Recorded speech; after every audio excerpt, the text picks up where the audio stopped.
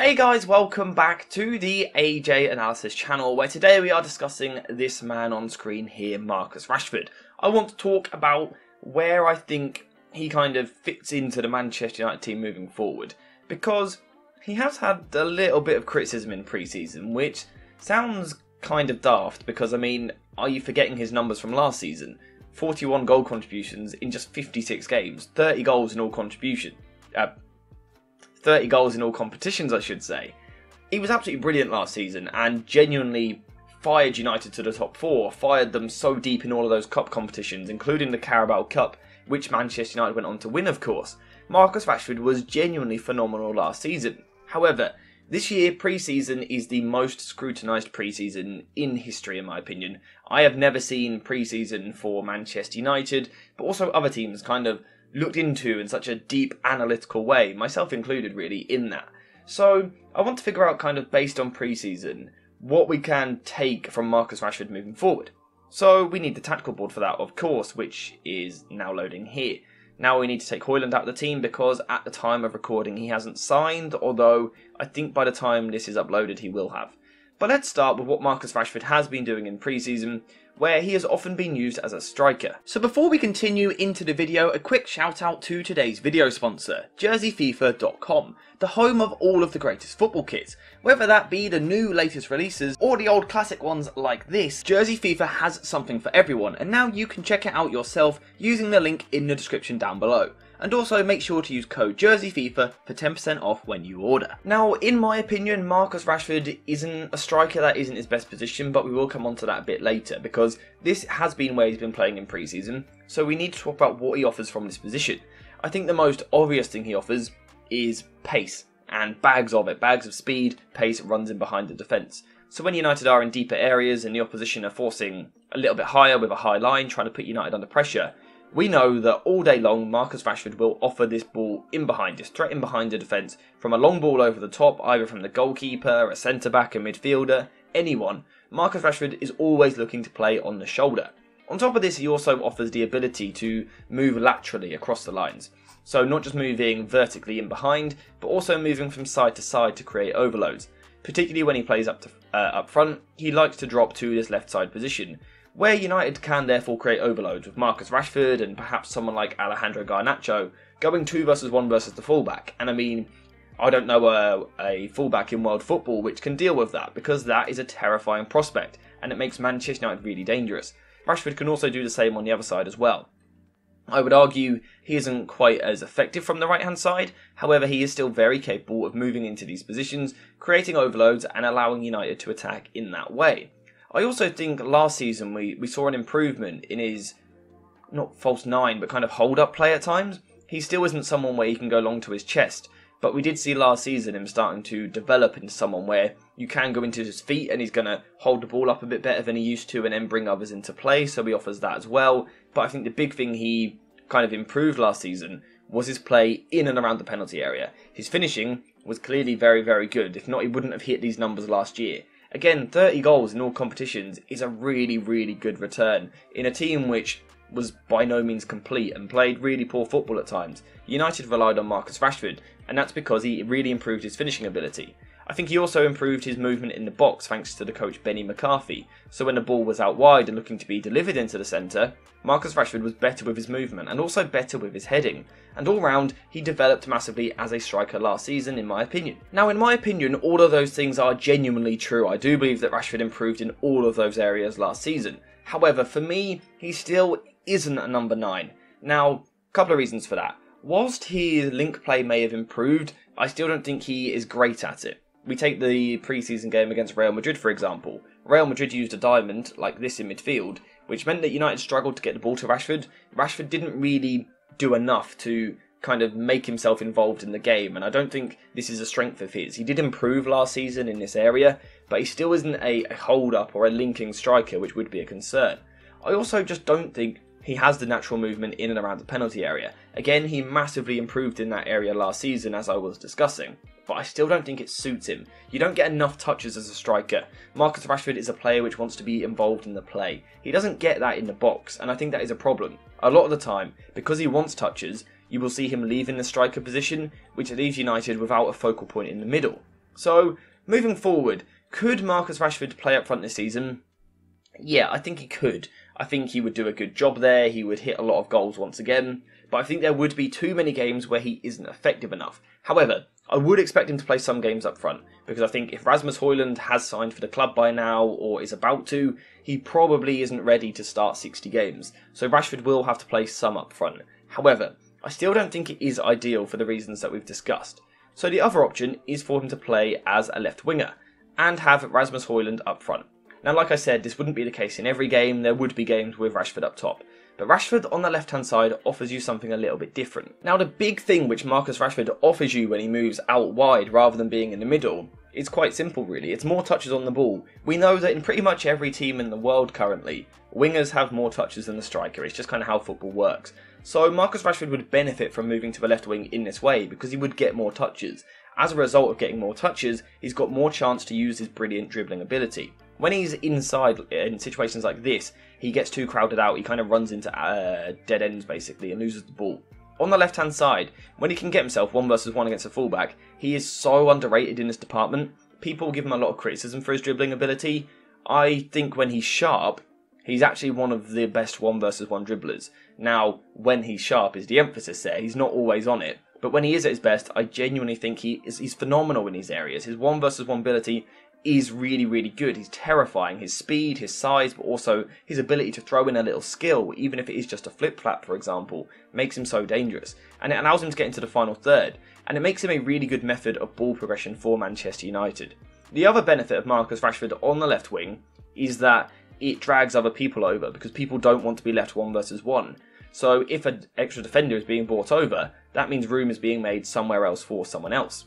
I also think Rashford from this area is just so good at cutting inside onto that right foot of his, cutting into these areas and firing shots at goal. And what it does is it gives United a different goal scoring outlet.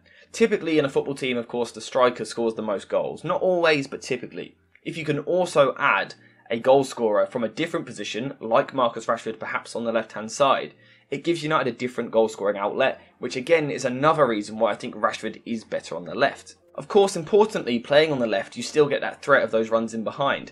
I mean, how many times in his career so far have we seen Rashford start on the left hand side, someone deep will have the ball, and Rashford makes this bending run in behind the defence like this, gets in behind, and once again scores goals? That is certainly something which Rashford can do. However, in terms of being an out and out winger, he perhaps isn't quite what Ten Hag normally goes for. If we look at Antony on the right hand side, he is much more of a retention player, someone who slows it down a little bit, looks to keep the ball for his side before keeping things a little bit safer. Sometimes too safe, yes, but he's just a very different style to what Marcus Rashford is on the left hand side. And the fact that Ten Hag was willing to spend close to 100 million euros on Antony on the right wing suggests that is actually perhaps the profile he prefers a little bit more. Someone who's a bit more of a retention winger, keeps the ball, progresses the ball for his side, works hard off the ball as well, of course, but importantly, is providing a whip for the attack and is often an outlet. Marcus Rashford doesn't do that in the same way, so is Marcus Rashford a winger either? Because he isn't someone who particularly wants to go down the outside of defenders, for example, and swing crosses into the box. He's also not that creative. He has moments where he puts deliveries in, but it's not really his game in general. He is always looking to cut inside. And I think this is why people are a little bit confused over Marcus Rashford. People kind of can't quite figure out what his best position is moving into this season because as a, a, wide player, perhaps he doesn't retain the ball well enough, doesn't cross the ball well enough, but as a striker, he perhaps isn't the, the focal point and that box poacher. So people are unsure as to how you get the best out of him. But again, what we look to do on the AJ Analysis channel is bring clarity. Not make assumptions, but bring clarity. Because I think if you actually look at Manchester United's preseason so far, there are clear indicators on how it could really work for Manchester United and Marcus Rashford this season. And the reason for that is because of Manchester United's build up structure so far in pre-season has often been a back three and then often a one in front of them. But more interestingly, it's the personnel picking up these positions. And it's the fact that it isn't fixed. For example, at times we're seeing Manchester United build up possession in a 3-1 shape which looks a little bit uh, a little bit like this for example. You've got one of the fullbacks deep, one of the midfielders playing as a pivot, the other fullback is much higher. But then in another situation, we will see it change. We'll see it uh, with a midfielder dropping deeper, something like this. Casemiro will be in this position here. However, one thing we aren't seeing too much in pre-season is Luke Shaw being part of the back three. It's happening in moments, of course it is. Football is a, a constantly moving game. Players pick up different positions all the time. But in terms of a main theme or a main pattern of the game, Luke Shaw does not seem to be the one, in my opinion, which is regularly forming a back three. He seems a little bit higher. Now, what is the effect of having Luke Shaw a little bit higher? The effect of Luke Shaw higher is the the potential for rotations it gives other players. Now, when Luke Shaw plays higher, he isn't just going to play high and wide, so sometimes he will underlap into these positions, which means Marcus Rashford is responsible for playing on the left wing. But the, the point is, that is okay in moments. Marcus Rashford is more than capable in spells of games playing wide on the left. The whole idea is that you don't just want to isolate him purely to that. But that's the important thing with Ten Hag's football in pre-season. Players are not fixed. Luke Shaw is also making overlapping runs in pre-season, which allows the left winger to come inside. And I think from this position, you get the best of Marcus Rashford.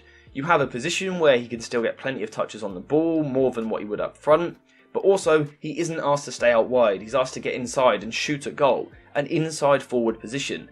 This is what Ten Hag looks like. At times, he is kind of creating for Marcus Rashford. Also, the potential, I think, even to move into these positions. Again, this is a, a rotational situation. It isn't always like this. But again, Ten Hag has got United in at times a shape which looks like a 3-4-3 diamond. I've discussed it already this uh, preseason, which has constantly players moving about, which does involve someone like Marcus Rashford occasionally moving into this position, occasionally out wide, occasionally in the inside channel. I think that is genuinely how Ten Hag is looking to get the best out of him. I think something else which proves that that might be the idea is actually the signing of Mason Mount, because Mason Mount is such a versatile player a player who suits this left hand side rotation perfectly. He is capable of pushing into the half space and letting Rashford play wide, very capable of doing that. He's also very capable of dropping deeper, letting Luke Shaw push forward and let Marcus Rashford come inside. Mason Mount has done this all before, I discussed it in the video where he signed for the club. But also what we discussed is his ability to move wider, and that is something which in kind of rotation in certain scenarios allows Marcus Rashford once again to come inside. And again, it's all about rotations. It's really Ten Hag's philosophy. Occupying zones, but with different players to offer different threats. For me, that is why I think Marcus Rashford could really work for Ten Hag this season. I have had question marks myself over is he really a Ten Hag profile? But we saw the quotes the other day and we discussed it in a video. Ten Hag wants this to be the best transitional team in the world. Who is genuinely one of the best transitional players in the world? Well, it is this guy on screen here, and I'm not talking about me. I'm really not that good. Marcus Rashford, though, is tremendous in transition. He is so, so good. And I think Erik Ten Hag genuinely wants to build the team around him. It's why he was given such a big contract. So I understand concern, right? Marcus Rashford isn't the retention player which some other players in the team are, and he has areas he needs to improve. His decision making does still need to be a little bit better of when to take a player on, when to fire a shot off, and also when to keep it simple and pass to someone else. But I do think that it could work in this system. If other players can especially learn to be a bit more patient on the ball, if players like Mason Mount, Bruno Fernandes, and Casemiro in particular can really uh, assert control on games, it could give Marcus Rashford the ability this season to maybe be even better than last season. Now, I'm not saying that as a guarantee because this is just my interpretation. Ten Hag might have a slightly different plan, but in my view, in my opinion, it really could work for Rashford this season.